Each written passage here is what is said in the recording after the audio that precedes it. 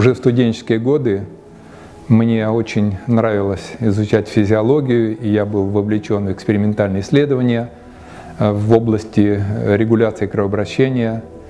Нужно сказать, что это было традицией в медицинском университете имени Павлова, когда студенты занимались научными исследованиями, я занимался этими исследованиями на кафедре физиологии – и наиболее интересным для меня был период, когда я работал в Институте эволюционной физиологии уже на первом курсе.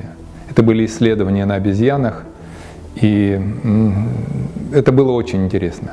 Позже, когда я проходил курс внутренних болезней на кафедре факультетской терапии, я действительно познакомился с командой, которая произвела на меня огромное впечатление.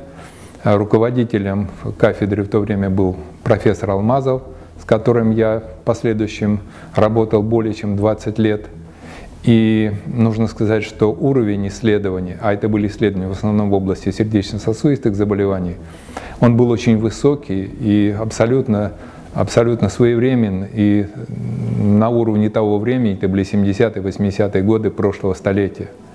Нужно сказать, что то, чем мы занимались тогда, сегодня мы называем фактически трансляционными исследованиями.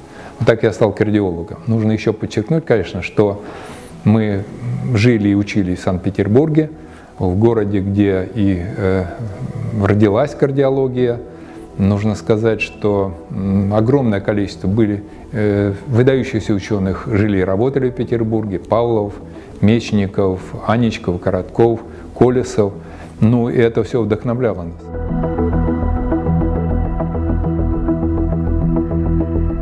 Ну, вызовов за всю мою профессиональную жизнь было много, но мне кажется, что самым главным и сложным для меня всегда было найти простое и правильное решение в трудных ситуациях, а, не только для меня, но и для моих коллег, которое позволило бы нам развиваться стремительно. Мы всегда ставили себе амбициозные цели, и всегда мы смотрели за горизонт, что очень важно, мы слушали внутренний голос – и это обеспечивало нам быстрое развитие во всех областях, в клинике, в науке, образовании. Эм, должен сказать, что именно, эм, именно следование всему новому, новому, э, нацеленность на успех, оно определяло те позитивные сдвиги, которые есть сегодня в центре Алмазова.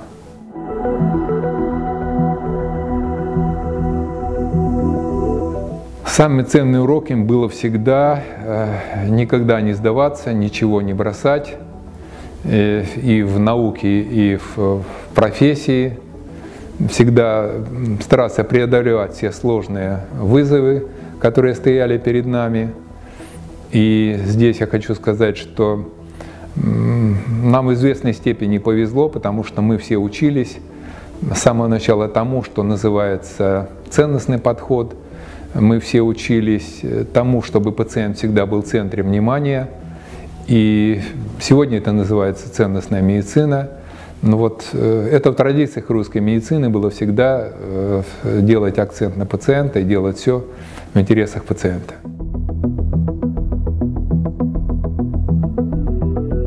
Кардиология сегодня стремительно развивается. Мы имеем много достижений, и мы полны оптимизма решать те проблемы и справляться с теми вызовами, которые сегодня есть перед э, российским здравоохранением и российской кардиологией в частности. По-прежнему э, смертность от сердечно-сосудистых заболеваний остается высокой, но я должен подчеркнуть, что в течение последней декады было сделано очень много, и уровень смертности снизился практически на 20%.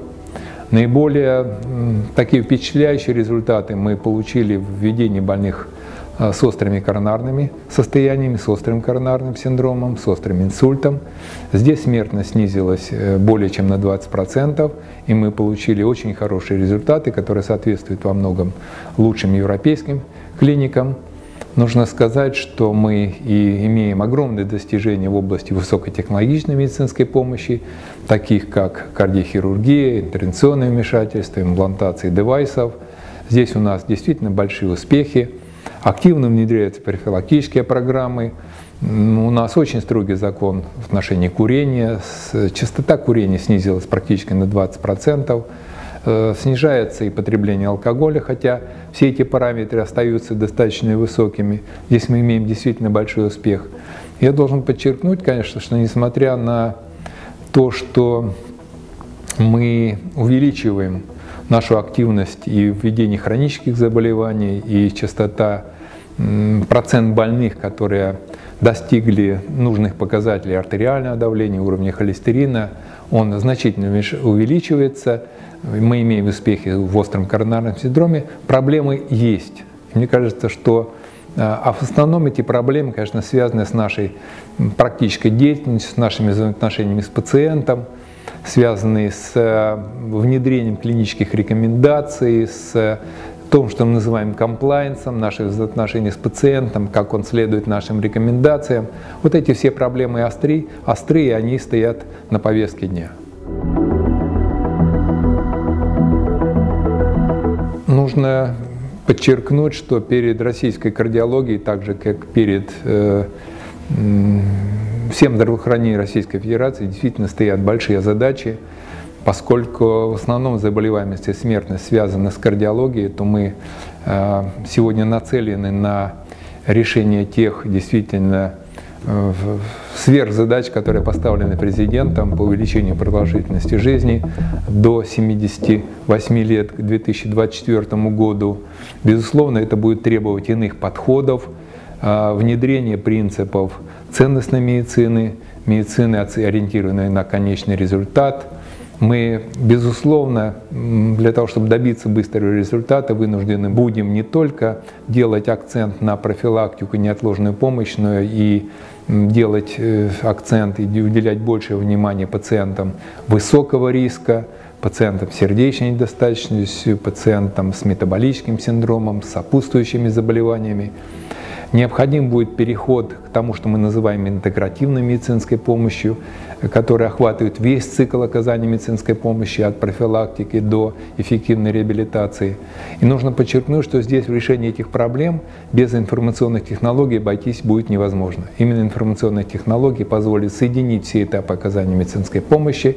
Это будет и системы поддержки принятия решений, искусственный интеллект и машинное обучение. Вот все, все вместе это должно изменить э, парадигму оказания медицинской помощи, сделать ее более эффективной и доступной для нашего пациента.